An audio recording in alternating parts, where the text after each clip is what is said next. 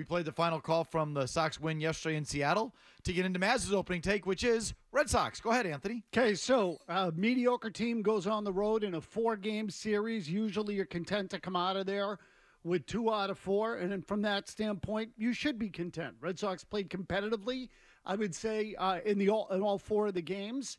The pitching was good, as you heard there from Kevin Youkilis and Dave O'Brien. Good, good, good, blah, blah, blah. Let me tell you what my concern is. Rafael Devers is out, they lose both games. Kenley Jansen's out, they lose the game.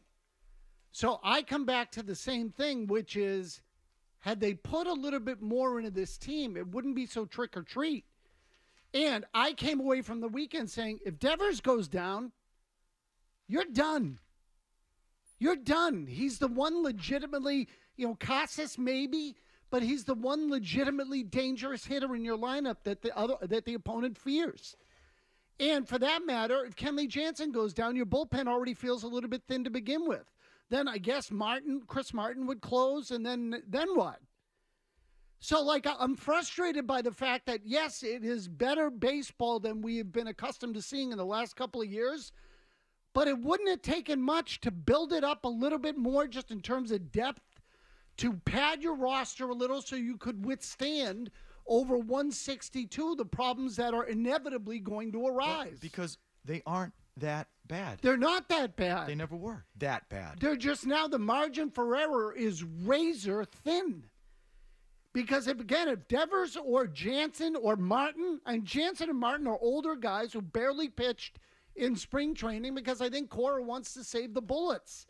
And, you know, Jansen's already battling a back thing. Uh, Martin had a thing in his forearm.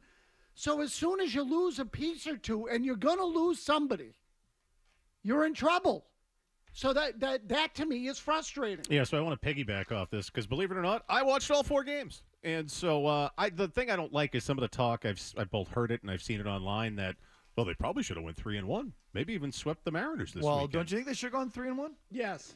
No, because of the thinness of the, the, the roster that Mazz is talking about. So we're going to ignore the fact that their best player, Rafael Devers, was unavailable in the second game. I mean, I tuned in like the second inning on Friday night, and all, all of a sudden I'm like, wait, where's Devers? Oh, he's out with a short, sore shoulder a sore shoulder the second game out of 162. What the hell's a spring training regimen? Fries and a shake?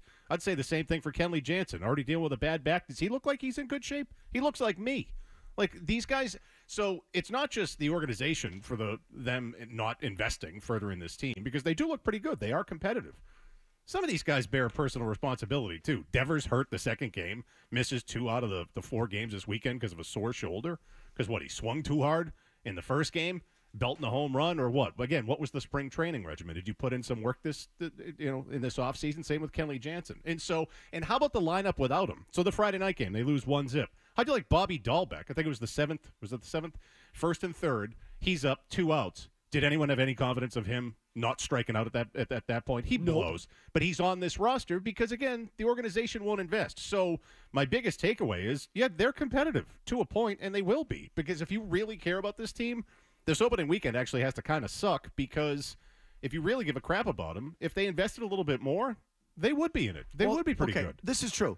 They still should have won three or four. Yeah. When you're up two runs on Saturday night, uh, and and so you can uh, between a, a, bad error by Abreu out in right field, I think it was the key play in that whole inning. Some questionable managerial decisions by Alex Cora, uh, pitching to certain guys and pitching certain guys. The injury to Jansen all things being equal, if you have Jansen and Abreu just doesn't butcher that ball in right field, you should walk out. So that I, at that point, that's not the roster. I don't think.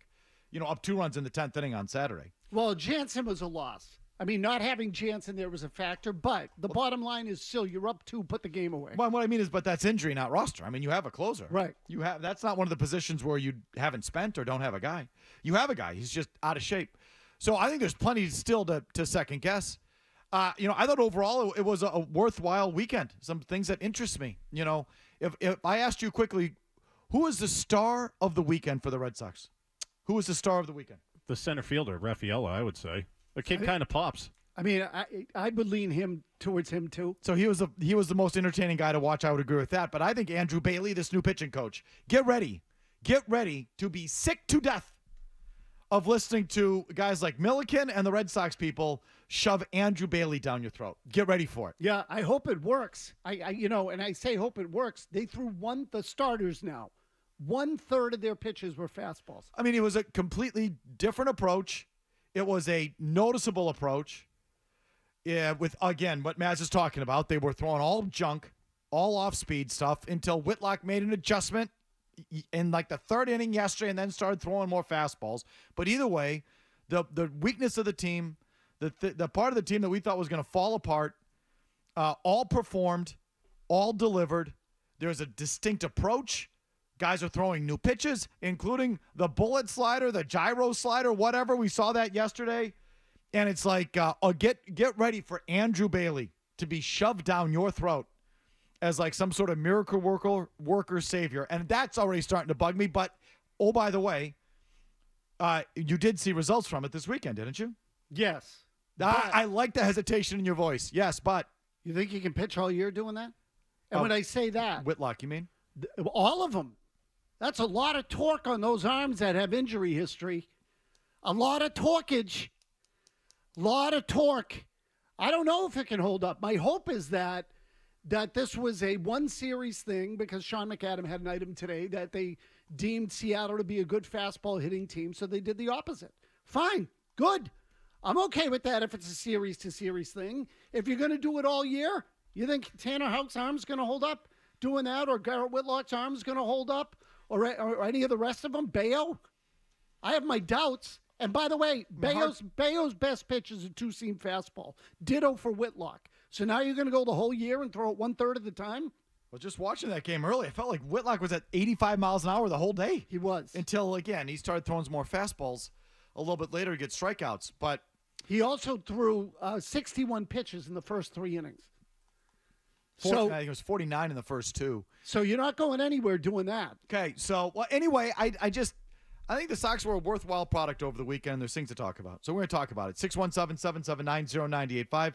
Uh, Celtics uh, rebound and win in New Orleans, but we're still sort of stuck on how they lost those games at Atlanta. There's a Bruins thought for you, and of course, we'll get to the NFL draft. My opening take quickly is that uh, yes, I am scared to take a guy. I am deathly scared to take a quarterback. Uh, not that you shouldn't take one. You should take one, and you're going to take one. It just scares me. I don't feel good about it. Uh, I find it interesting just listening over the weekend the amount of people who are scared not to take one, who are scared that they're going to lose out on somebody. And I don't know what's sillier, me or them. Like, you must draft JJ, Mc- you must come home with Drake Maye, JJ McCarthy, or one of these guys, or else. The, the fear on the other side, I feel, is just as bad, if not worse, than my fear.